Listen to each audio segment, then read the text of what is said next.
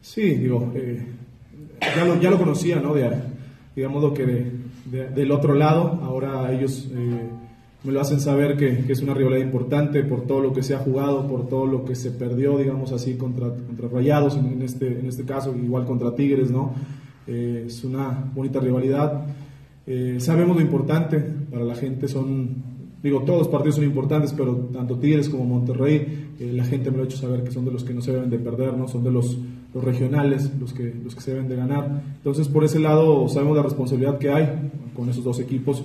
Eh, lo comentaba el otro día, para mí es eh, complicado y a la vez este, una responsabilidad muy grande por el hecho de, bueno, antes, antes jugaba ahí y ahora pasó a ser un rival directo para mí y pasó a, esa, a esas ganas de, enfrentar a ese equipo y de ganarles, como lo hice en su momento con Tigres, ahora el Monterrey es, igual de importante en estos casos para mí.